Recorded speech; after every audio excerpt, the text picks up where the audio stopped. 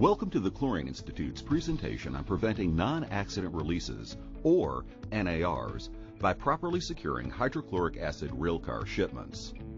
During this presentation, you will learn the definition of a non-accident release, or NAR, see a review of hydrochloric acid tank car NAR data, and learn tips for preventing hydrochloric acid NARs. The tips provided in this video are applicable for both loaded and residue railcar shipments. Hydrochloric acid may also be referred to as HCl throughout this video. What is an NAR? NAR stands for non-accident release. It is a standard metric used by the U.S. Department of Transportation, or DOT, and Transport Canada to measure trends in hazardous materials releases during transportation. NAR single out releases that occur in transit but are not related to an accident. Per U.S. regulatory requirements, all releases of hazardous materials from transportation functions are required to be reported to the DOT by completing and submitting a DOT Form 5800. Transportation functions include, but are not limited to, the transportation or movement of the product in commerce, as well as on-site loading and transloading operations when a carrier employee is present. See Section 49 of the U.S. Code of Federal Regulation, or 49 CFR, Part 171, for more details on reporting requirements. These reports may be completed by the railroad or trucking company while the package is in transit, or by a plant employee if the incident is on site. The DOT database includes reports for all modes of transportation and all package types, including rail cars, trucks, drums, cylinders, totes, etc., and for all the phases of transportation, including loaded and residue shipments. It is important to note that according to the DOT definition, a residue shipment is not considered empty. Empty only refers to containers which have been cleaned and purged and no longer contain any amount of product. The Association of American Railroads, or AAR, has certain responsibilities designated by DOT for overseeing the operations and performance of the rail industry, including tank car aspects. Under a task force of its Tank Car Committee, the AAR tracks NAR incident data regularly and develops guidance and resources to aid the industry in reducing these incidents. The data used in AAR's analysis is not to be confused with that which is reported in the DOT database, because AAR only considers incidents that occur while the tank car is in the railroad's possession. For example, the AAR does not consider incidents that occur during on-site loading and unloading at a shipper's or receiver's facility. More details regarding AAR's NAR tracking and guidance may be found through their website. Releases that occur during transportation functions are reported differently than releases within plant processes. The primary difference is that for transportation-related releases, there is no reportable quantity threshold, or RQ, as established by the U.S. Environmental Protection Agency, or EPA, which needs to be reached to trigger reporting. All transportation releases, no matter the quantity, require reporting to DOT. Basically, if you can see it, smell it, or hear it during transportation functions, it is an NAR and requires reporting to DOT. NARs can be very expensive. The true cost of an NAR includes a wide variety of expenses, such as medical costs associated with personnel exposures, costs to mitigate the spill, and ongoing costs associated with the necessary environmental monitoring after cleanup. Another potential source of cost for tank car spills are railroad fines. Some railroads fine shippers for NARs due to service interruption. Railroad fines may be a fixed cost or variable based on the length of the service interruption the railroad incurs. The Federal Railroad Administration, an agency under the DOT that is responsible for rail activity, can assess fines for NARs, which can be costly and sometimes involve lawsuits. Also, as a result of an NAR, your company and the railroad can suffer a damaged public perception. Another real cost that is difficult to quantify. The Chlorine Institute, also referred to as CI or the Institute throughout this presentation, uses the DOT 5800 reported NARs to monitor the performance of the industry's efforts in reducing preventable hydrochloric acid releases. CI has set long-term, intermediate, and annual goals by mode for all of the chemicals covered under the Institute's mission, including chlorine, caustic soda, and hydrochloric acid. For hydrochloric acid rail shipments, the goal is to have less than 17 NARs per year by 2016. The Chlorine Institute has analyzed incidents over the years and uses the analysis to develop programs and practices to prevent future incidents. This is a summary of the hydrochloric railcar incidents from 2008 through 2013, broken down by the cause or source of the leak as they were reported to DOT. The dark blue bar reflects leaks from the rupture disc assembly, typically due to rupturing or damage to the rupture disc itself or improper assembly of the rupture disc housing. The dark red bar indicates leaks due to unsecured fittings, including valves, fill hole covers, and liquid lined flanges. The other colors reflect releases from other sources, including unsecured manway plates and damage resulting from derailments. Clearly, the biggest opportunity for improvement is reducing leaks from fittings, including valves and rupture disc assemblies, by implementing proper securement practices. It is important to remember that the party who prepares and offers a hydrochloric acid tank car for transport is considered the shipper of record. This includes the unloading location that prepares a residue car for a return shipment back to the supplier.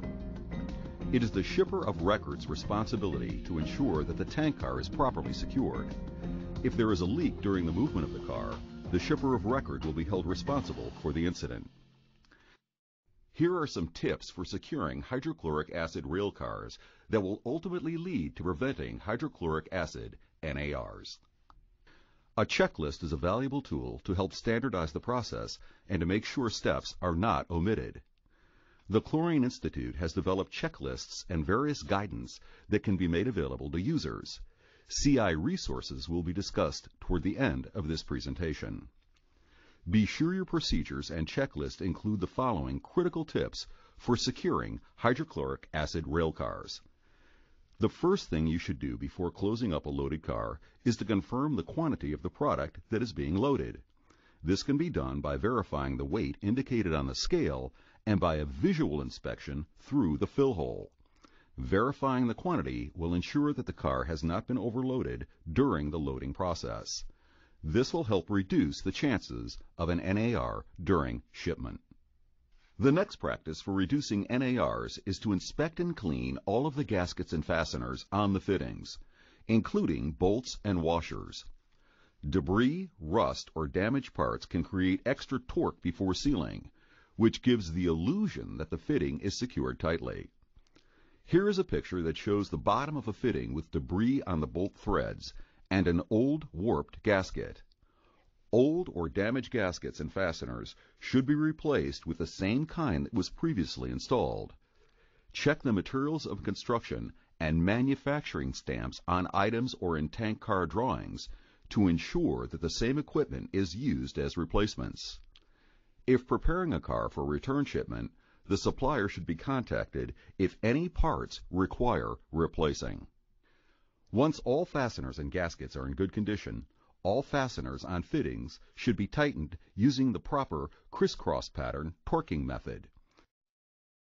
Sample torquing patterns are shown here for fittings with 6, 8, or 10 bolts, but the concept is similar for fittings with a different number of fasteners. All fasteners should be wrench tight. Tank cars with protective housings may make tightening fasteners more difficult due to given clearances. If you have difficulty tightening fasteners, contact your supplier for recommended tightening practices. The use of segmented washers is recommended to help ensure effective torque and securement of fasteners. If segmented washers are installed on the car and need to be replaced, then segmented washers should be used as replacements. It is important to ensure that the tank car's pressure relief device is closed and properly secured. Either of two types of relief devices may be installed in the rail car, a pressure relief valve or a rupture disc as shown here. Two types of rupture discs are acceptable for use in hydrochloric acid service. An example of a polyphenylene sulfide, such as Ryton rupture disc with optional Teflon lining, is shown on the top. An example of a graphite rupture disc, which is lined on the bottom side with Viton and is coated with green Teflon, is shown on the bottom. While both types of pressure relief devices are acceptable for hydrochloric acid service, it is recommended that a reclosing safety relief device is used, such as a spring-loaded pressure relief valve, to help reduce the likelihood and size of an NAR. Pressure relief devices on hydrochloric acid tank cars are typically rated at 165 psig, but some cars may have devices rated at 75 psig. Both ratings are acceptable, However, a higher rating of 165 psig will help reduce the likelihood of an unintentional product release from the relief device due to pressure surges in the car while in transport. If the car is equipped with a rupture disc as opposed to a pressure relief valve, careful inspection of the rupture disc assembly must be done prior to offering the railcar for transportation to ensure damage or defects are not present that could alter the intended operation of the device. In general, this can be achieved by cutting or removing the cable seal, if present, removing the threaded cap, inspecting both sides of the rupture disc, reapplying and tightening the threaded cap hand tight, and installing a new cable seal. Throughout the inspection process, look for cracks, signs of excessive wear, corrosion, missing components, and other evidence of altered condition of the device. A damaged or corroded rupture disc should be replaced with a new disc, which can be obtained from your supplier. Different style rupture disc assemblies may require different inspection and assembly steps. Note that removal of the rupture disc is not required on tank cars that contain residue per DOT regulations. Not removing the rupture disc and instead leaving it in place during inspection helps prevent errors in reassembly and therefore reduces the chances of an NAR. It is recommended that you refer to DOT regulations in 49 CFR Part 173 and consult your supplier for more detailed requirements and instruction on inspecting rupture disc assemblies. After inspection, it is crucial to ensure proper assembly and securement of the rupture disc assembly. Be sure the disc is installed with proper flow direction. Original equipment manufacturers, or OEMs, provide instructions to ensure proper orientation of the disc and housing assembly. You may also conduct a pressure leak test to ensure proper functioning of the rupture disc in addition to removing the disc for visual inspection. Here are sample rupture disc assembly drawings and assembly instructions. Two rupture disc sizes and several styles are acceptable. Any replacement parts should be the same as what was installed. After all fasteners have been properly tightened, verify that all openings to the rail car are closed and secure. This includes closing the valves after the car is disconnected from the unloading system, installing and fastening the fill hole cover, and closing and fastening all other openings to the tank car. This even includes verifying fittings that were not used during the process are closed and properly secured. All hydrochloric acid tank cars are lined with a rubber lining to protect the steel tank. On most cars, this rubber lining extends to cover the surface of the fittings that will be exposed to the acid. When securing the fittings, natural rubber tends to flow outwards of the connection faces, also known as creep or cold flow. If time is not allowed for the rubber to relax to its final position, it can create the illusion that the fittings are secured tighter than they actually are. This behavior is more typical with newer rubber. To ensure fittings are properly secured, the recommendation is to tighten their fasteners multiple times until relaxation of the rubber no longer appears to be present. If time lapses before shipment, a final check should be made to ensure all valves and fittings are still fastened tightly. To address the issue of rubber creep, suppliers have developed alternative materials that can be used to coat and line fittings surfaces. Materials currently being tested include ultra-high molecular weight polyethylene or UHMWPE flange faces, polytetrafluoroethylene, or PTFE coating. A well-known PTFE product is Teflon by DuPont. Polyvinylidene fluoride, or PVDF coating. A well-known PVDF product is Kynar by Arkema. After all fittings have been closed and secured, it is recommended that the railcar and fittings be washed down with water to remove spilled product. Doing so will provide evidence that the car was clean and secure prior to shipment. This is particularly beneficial when en route tampering of the car is suspected. Cleaning acid spillage will also help prevent corrosion of the car's steel parts. However, be aware that some older cars may have existing stains that cannot be cleaned away. A crucial step in the securement process is to check all fittings for leaks prior to shipment. For hydrochloric acid tank cars, commonly used methods are the use of aqua ammonia solution or bubble leak solution to detect any leaks. Both of these leak test methods require the car to be under pressure, typically 25 to 30 psig, to be effective in detecting leaks. One general tip for leak checking is to wait as long as possible before doing a final leak check prior to the rail car being offered for shipment. A long dwell time will allow very small leaks to develop and become detectable. The longer the dwell time, the better. Some shippers let the car sit up to 24 hours prior to shipment. If an aqua ammonia solution is used for leak checking, there are some important tips to keep in mind. It is recommended to use a 10 to 30% lab-grade aqua ammonia or ammonium hydroxide solution. This mixing does not have to be precise. However, you want the fumes to have a noticeable ammonia smell. Be sure the solution is not too strong, because a strong solution will accelerate corrosion if acid is present. A common dispersal method for the aqua ammonia solution is to use a squeeze bottle with an internal tube that only extends into the vapor space of the bottle. If the bottle you have has an internal tube that extends into the liquid space, it is suggested to either remove the tube or cut the tube to a length that extends only into the vapor space. Many different bottle styles are acceptable. It is very important not to use a liquid stream when performing the aqua ammonia leak check, because if a leak is present, the liquid can cause corrosion and make the leak worse. Using a bubble leak solution is a slightly different application method than using aqua ammonia. In general, the application of the bubble leak solution can be applied in any suitable way. Be sure to reference and follow your company's bubble leak test procedures. There are many acceptable commercial grade solutions on the market to use for bubble leak testing. Here are some of the products currently used in industry. After all fittings have been checked for leaks, one of the final steps to help reduce NARs is to reduce the pressure in the car as low as possible before shipping. For hydrochloric acid shipments, zero pressure in the car is recommended. Added pressure in the car increases the vapor pressure. If too much pressure builds up in the car, the safety relief device could potentially release during transport or a leak can occur through an unsecured fitting. It is less likely an NAR will occur if there is zero pressure in the car.